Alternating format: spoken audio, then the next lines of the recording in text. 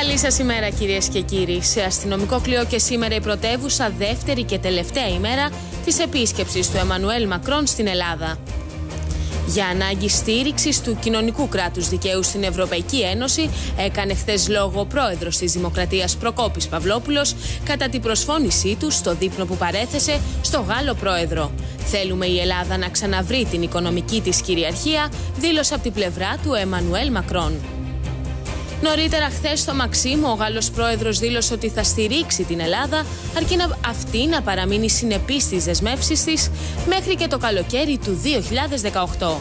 Ικανοποιημένη δηλώνει η κυβέρνηση από τις χθεσινές δηλώσεις του Μακρόν στο Μαξίμου. Αποτιμούν θετικά τις τοποθετήσεις του για την ανάγκη σύντομης ολοκλήρωσης της αξιολόγησης, χωρίς νέες απαιτήσεις από το Διεθνές Νομισματικό Ταμείο, αλλά και για την οριστική διευθέτηση του χρέους. Σήμερα στις 9 το πρωί συνάντηση του Γάλλου Προέδρου με τον Κυριάκο Μητσοτάκη στη Γαλλική Πρεσβεία. Θα ακολουθήσει στις 10 η συνάντηση των Γάλλων και Ελλήνων επιχειρηματιών, παρουσία του Εμμανουέλ Μακρόν και του Αλέξη Τσίπρα στο Ίδρυμα Σταύρος Νιάρχος. Ο Γάλλος Πρόεδρος θα αναχωρήσει από τη χώρα μας στις 4 το απόγευμα.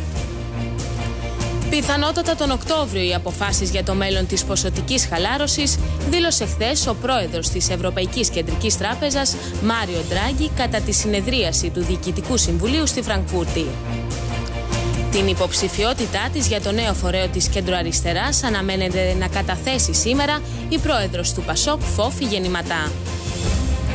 Τουλάχιστον 14 νεκροί από το καταστροφικό πέρασμα του τροπικού κυκλώνα Ήρμα στα νησιά της Καραϊβικής. Παρόμοια πορεία φαίνεται να ακολουθεί και ο κυκλώνας Χωσέ, ο οποίος μέσα σε λίγες ώρες ενισχύθηκε στην κατηγορία 3 και κατευθύνεται προς τις μικρές αντίλες.